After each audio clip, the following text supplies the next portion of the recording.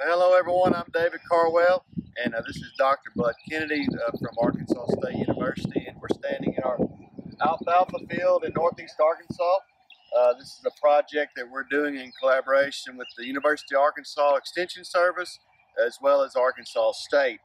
And so uh, Dr. John Jennings came to me with the idea of this was an old row crop field and it has uh, severe uh, pigweed issues. And so they were looking at an alternative crop uh, that you could grow uh, that can maybe help eliminate pigweeds. We have extreme resistance here in this part of the country. And so by putting on a perennial crop that comes up, it's actually cool season that can shade the ground out is the theory uh, that we can shade the pigweeds out before they start to germinate.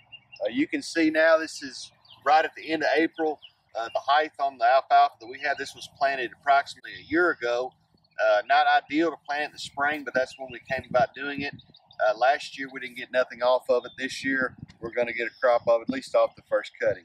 And so um, what we're going to use it for is going to be this first time we'll be making haylage and putting in a silo bag and then making dry hay uh, every time after that to feed our sheep herd, backgrounder calves, and also uh, to feed our goats.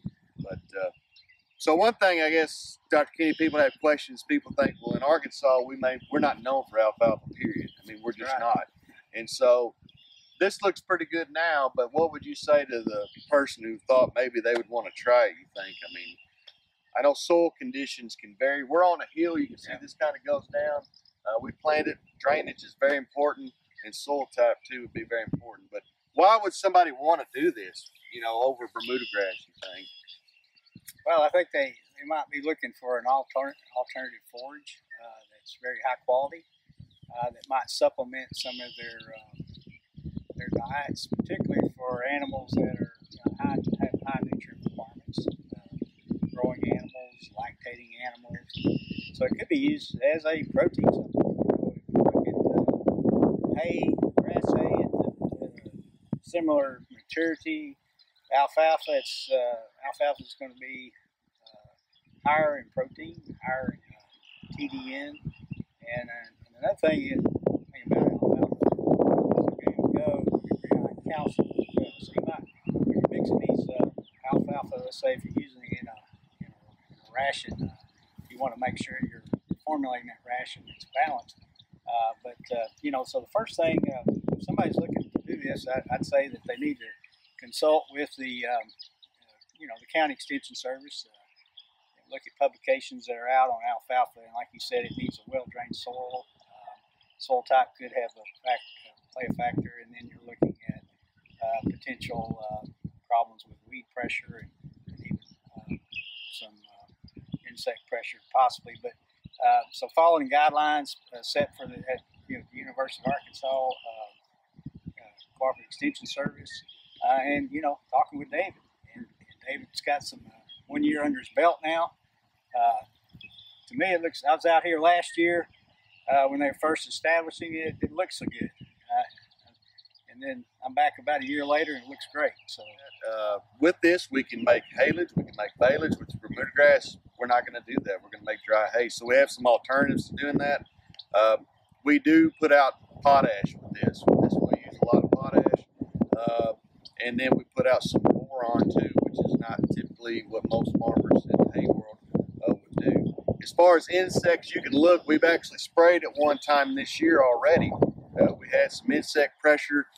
Uh, the, these leaves, again, are very, very susceptible uh, to bugs wanting to eat them. I mean, this is just about as good as you can get as far as quality. The insects that we're spraying uh, are very easily killed, and it's very cheap, except it can be done. You have to do it regularly depending on the year. Uh, it can seem more of a hassle, but to be honest, it's, it's pretty cheap to do it.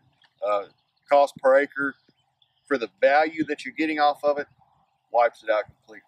And so uh, we had to spray it several times last year uh, and not even get anything off of it. But again, the stand that we have to show for it is everything.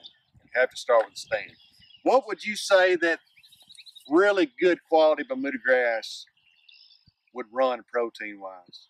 I mean, and most people don't even have hybrid planted. I mean, we're talking, you know, yeah. Well, I mean, nitrogen fertilization, of course, but uh, I mean, uh, you know, you're looking up uh, good quality, twelve percent, higher, fifteen percent.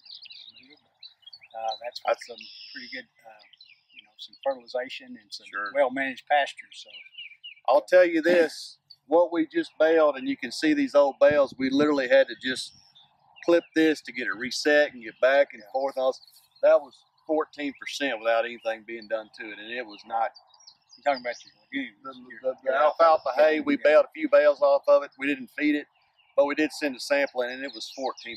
I mean, and he's talking about spending a lot of money on fertilization with Bermuda grass and getting 12 to 14, being high quality.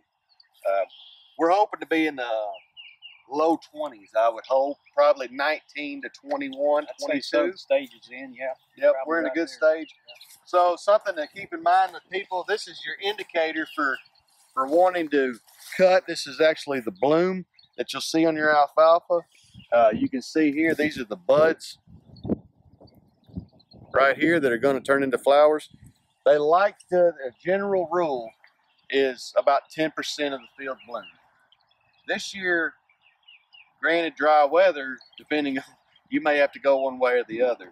But uh, as you bloom, tonnage will go up. But just like everything else, that's the maturity of the plant. We know that quality is going to decrease. So we don't want to wait for all these pretty flowers to be out here. We want to see a percentage of those. And you have to take an average. I mean, there's places where there's more and there's places where there's none.